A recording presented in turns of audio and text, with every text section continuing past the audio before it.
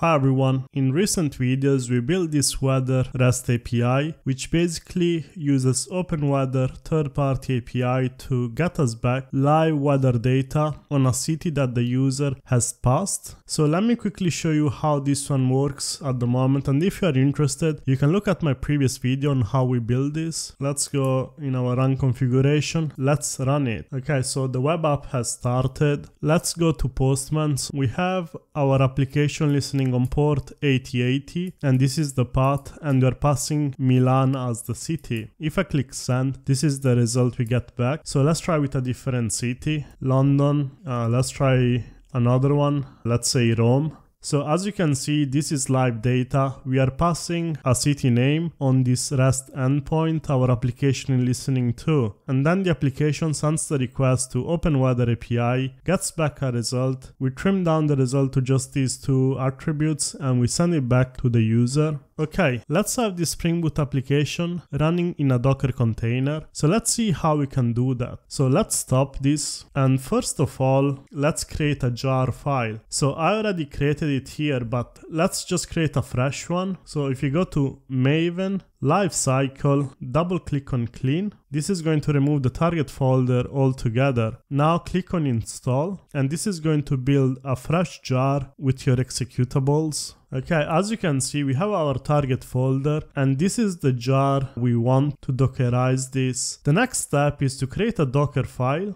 So let's go to the root of our application, right click, new file, and you have to call it docker file.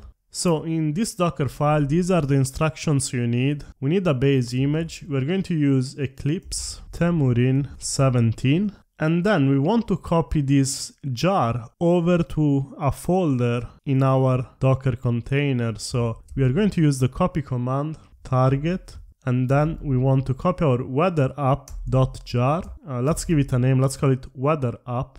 So this is going to copy our jar onto the Docker container and now we want the command to actually run this jar file. So this is how this looks like. So we're going to be running a jar and then we want to give the name of the jar with the path. So this is all you need in the Docker file. This is going to create us an image first and then we're going to run this container. Okay, so let's open a terminal window. Let's make sure we are in the same directory where the Docker file is.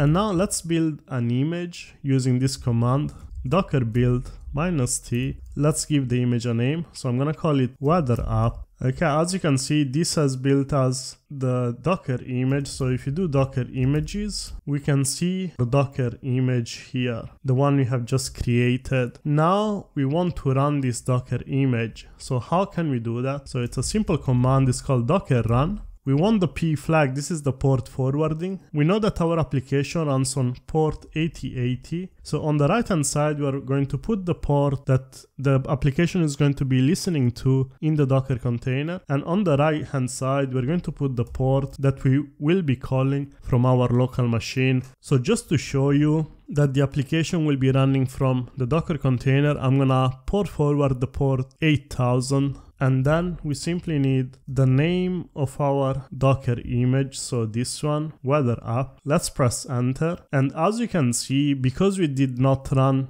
this docker uh, container as a daemon this is actually blocking our terminal. But i'll show you how to do it differently so now we have our application running in the Docker container. On the Docker container it's listening on port 8080, but on our local, as we said, we are going to forward to port 8000. So if I call this port, this is failing because there is nothing running on this port. So we want to now change this to 8000. And as you can see, this has started working again. So let me just show you these results are coming back from the Docker container. Let's say we want to stop this. Uh, let's open a new terminal and then do docker ps to see the running containers. Let's get the container ID and then let's do docker stop. And container ID. If we go back to the previous terminal, this has stopped. Okay, let's say we want to run our Docker container in the background. What you need is this flag minus D. If you press enter, you'll see that it's going to return you this hash, but it's not going to block our terminal window. So this is now running in the background. Just to show you that it's actually running, let's go back here. Uh, so again, port 8000 and this is the result coming back from our application running in the Docker container. So now we can see this is running and if you want to stop this Docker container you just use docker stop. And now let's check if there is anything running. Nothing is running. We can go back to Postman and confirm this. As you can see, everything has stopped. So this is quite simple. Building a Docker container from a Spring Boot application is quite simple and straightforward. I hope you found this useful. If you have any issues, just leave a comment. I hope you enjoyed the video and found it somewhat useful to reach your goal. Please don't forget to like and subscribe as it allows me to keep creating more and better content for you, all completely free of charge. See you on the next video.